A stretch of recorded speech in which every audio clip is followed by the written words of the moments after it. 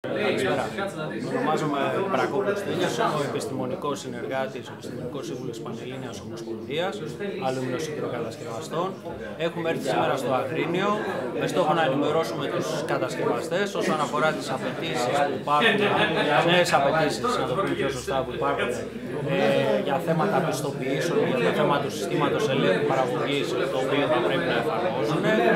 Επίσης, έχουμε έρθει εδώ πέρα για να ενημερώσουμε για το νέο πρόγραμμα τους εξοικονομώ κατοίκων και πώς οι κατασκευαστές θα μπορέσουν να τα απεξέλθουν σε όλες τις ε, απαιτήσεις, σε ό,τι τους ζητάει το πρόγραμμα, έτσι ώστε εκτός από σωστά κόμματα που θα κατασκευάσουν, θα μπορούν να τεκμηριώνουν και την ποιότητα των προϊόντων τα οποία παρέχουν στους πελάτες τους.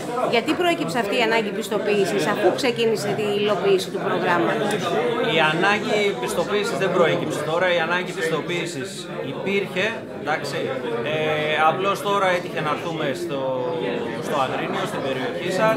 Υπάρχει ζήτηση και μεγάλη ανάγκη σε όλη την Ελλάδα.